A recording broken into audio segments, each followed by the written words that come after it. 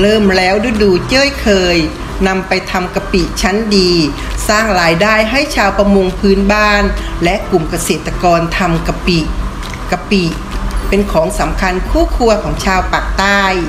เชื่อว่าหลายคนยังไม่เคยเห็นกรรมวิธีการทำว่ามาจากอะไรและทำอย่างไร วันนี้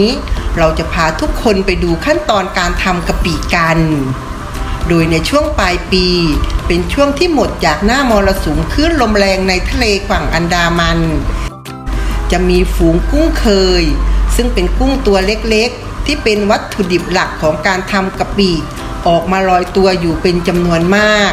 โดยเฉพาะที่หาดนาใต้บริเวณอ่าวจิกตำบลโคกอยอำเภอตะกัวทุ่งจังหวัดพังงา ในช่วงเช้าของทุกวัน ชาวประมงพื้นบ้าน จะนำเรือออกไปจับกุ้งเคย โดยวิธีที่เรียกว่า เจยเคย ซึ่งคำว่าเจ้ยนั้นเป็นภาษาใต้หมายถึง การตักหรือการช้อน โดยใช้คันไม้ไผ่คู่ยาวจ็ดเมตร เย็บถุงอวนติดกับคันไม้ไผ่ ติดตั้งไว้หน้าหัวเรือ จะมีคนยืนคอยสังเกตดูว่ากุ้งเคยลอยขึ้นใกล้ผิวน้ำจุดไหน ก็จะเล่นเรือเข้าไปเจยกุ้งเคยขึ้นมา เมื่อได้กุ้งเคยมาแล้ว ก็จะนำไปขายให้กับกลุ่มทำกะปิ ในราคากิโลกรรัมละ 50 บาท สร้างรายได้ให้ชาวประมงพื้นบ้านได้เป็นอย่างดีและตัวกุ้งเคยนั้น นอกจากจะทำกะปิแล้ว ยังสามารถทำได้อีกหลายเมนู เช่น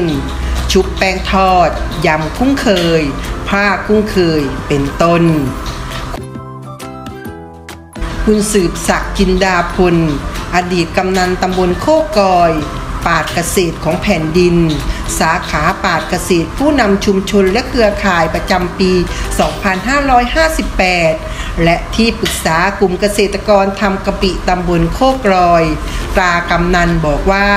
ฤดูเจ้ยเคยนั้น จะอยู่ในช่วงปลายปี ชาวประมงพื้นบ้านจะออกเรือไปเจ้ยเคยกันตั้งแต่เช้าตรู่ตามชายฝั่งตั้งแต่หาดท้ายเหมืองยาวไปจนถึงจังหวัดภูเก็ต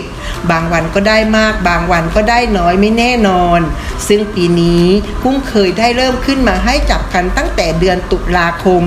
ซึ่งทางกลุ่มได้รับซื้อจากชาวประมง ในราคากิโลกรรัมละ 50 บาท นำมาทำเป็นกะปิคุณภาพชั้นดีจำหน่ายเป็นของฝากของจังหวัดพังงา